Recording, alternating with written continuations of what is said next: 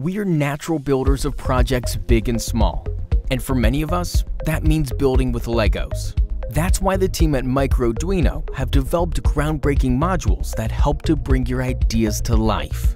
Introducing the Itty Bitty City, the world's smartest electronic building blocks designed to upgrade your projects like never before. Motors give your vehicles the ability to move on their own.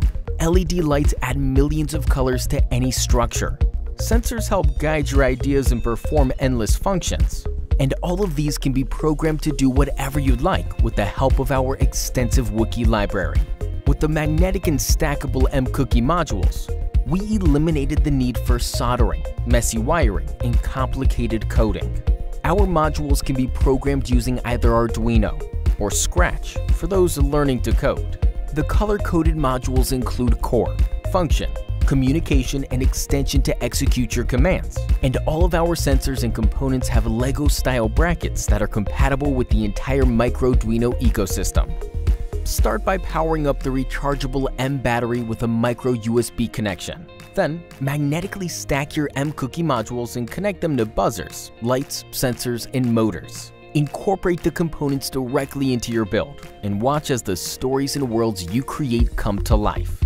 With Microduino, you can use any materials to build your project. The possibilities are endless.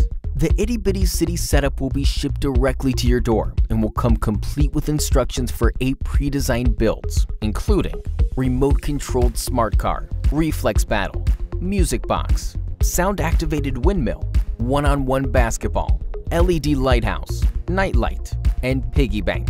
The Microduino team has already fulfilled three successful crowdfunding campaigns, and our goal now is to lower the barriers of entry for makers, inventors, designers, and STEM educators all over the world. Join us today in helping people of all ages to turn their imaginations into reality with Itty Bitty City.